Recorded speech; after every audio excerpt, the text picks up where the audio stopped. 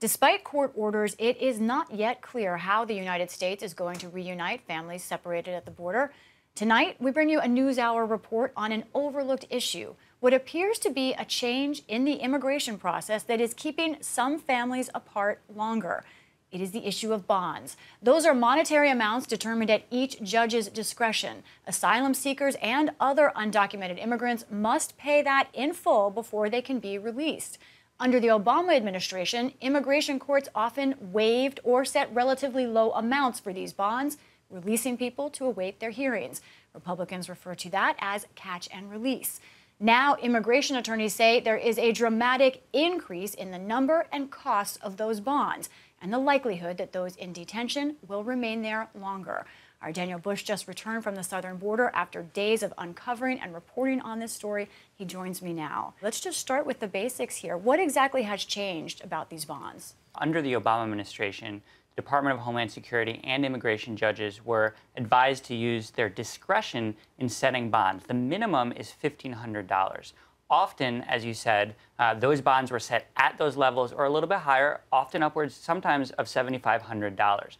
But the change that we're seeing now, and that a lot of immigration attorneys told me that their clients are being set with bonds of $10,000 or more. Uh, I spoke with one attorney who said it's not uncommon to see bonds of up to $25,000. And if they can't pay that money, then they're going to be in detention. Do you know if any of these cases involve some of these parents who've been separated from their children?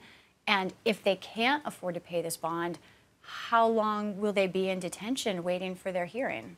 So I, I am aware of some cases where that's happened. Uh, I spoke with one lawyer who related a story of her client, a mother uh, who was detained and uh, separated from her parent, from her children, excuse me, entering the country. This was back in March. The children, who are aged four and ten, uh, were sent into custody under one federal agency, put into foster homes, and eventually released to relatives. The mother, however, was given a $12,500 bond. Uh, was unable to pay that, and as of just uh, two or three days ago, was still in detention while her lawyer and immigrant uh, legal aid groups were trying to come up with the money. I spoke with another lawyer who said that her client was separated from her two year old son, and in that case, the mother was given a $9,000 bond and is also in detention because she was unable to pay it. So we know those cases months. What's the average for, for a case to resolve?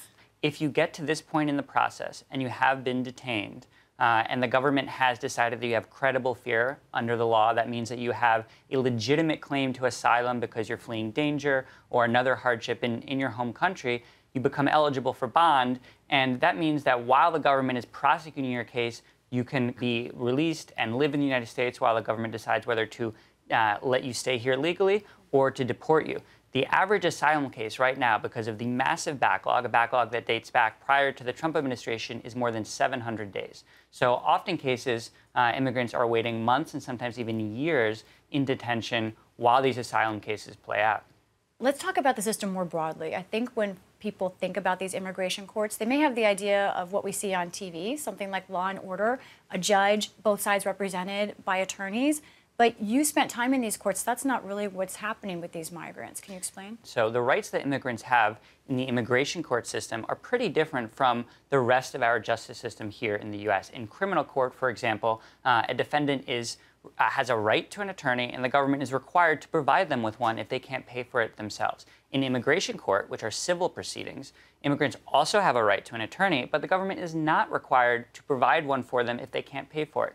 So what happens is that immigrants who can't pay for an attorney or who can't find an attorney to represent them for free go unrepresented. And in, as you said, I, I uh, was able to observe bond hearings and other immigrant court hearings in Texas last week in three different courts, and the vast majority uh, of the immigrants who came before judges were, were not represented, did not have lawyers. What did the Department of Justice say about this? Are they, do they want this system to be in place as deterrence? Do they say that this system is uh, appointed change?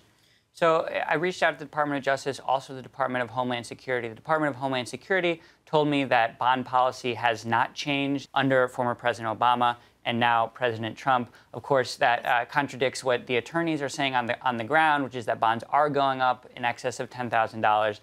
The Department of Justice uh, said that they're not required to re- record the average bond amount. So it's unclear uh, because we don't have those statistics how how high these bonds are across the board. Uh, but the Department of Justice and Department of Homeland Security, uh, you know, are, are, say that this policy, which has been in place for a while, is an, an important part of the process to ensure that uh, immigrants who have been detained remain in the system while their cases are being processed. And one last question. You weren't just in immigration courts on our side of the border, you were also on the Mexican side of the border talking to people who are waiting to file for asylum, families.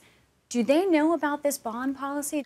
So I spoke to uh, a group of asylum seekers on the bridge, one of the legal entry points in Laredo, um, and they were waiting on the Mexican side of the border to enter the United States.